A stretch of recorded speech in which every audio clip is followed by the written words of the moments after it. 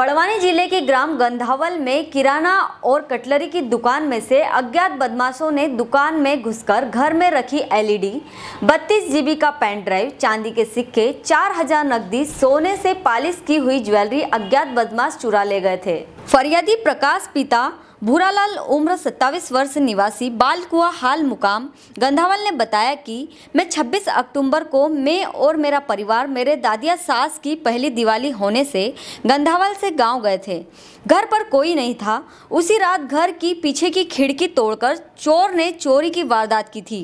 अज्ञात बदमाशों के लिए एसपी के निर्देशानुसार एसडीओपी अंतर सिंह जमरा व थाना प्रभारी संतोष सावले ने आरोपी को पकड़ने के लिए टीम गठित की। टीम द्वारा आरोपी को गिरफ़्तार कर लिया। साथ ही चोरी की गई एलसीडी और अन्य चोरी की हुई सामग्री जब्त किया। आरोपी राजेश धमारिया, बढ़ड़ा निवासी गंधावल दोनों आरोपी को गिरफ़्तार कर आज न्यायालय में पेश किया गया। बड़वानी से अतुल कुमावत की रिपोर्ट। पार्टी थाना क्षेत्र का ग्राम गंधावल है। जो है।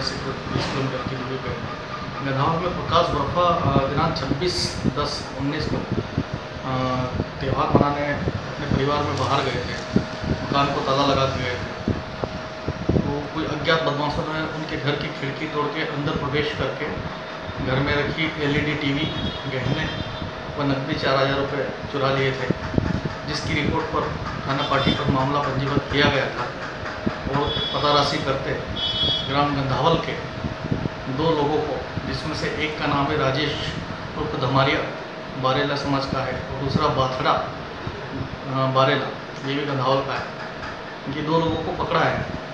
इनके कब्जे से एक एलईडी टीवी वो चोरी किए गहने वो चांदी के सिक्के बरामद किए हैं और आज इनको गिरफ़्तार कर न्यायालय पेश किया हेलो फ्रेंड्स आप देख रहे हैं हमारा channel S W twenty four news हमारे सारे वीडियो सबसे पहले देखने के लिए आप हमारे चैनल को सब्सक्राइब करें और पास में लगे बेल आइकन को दबाना बिल्कुल भी ना भूलें।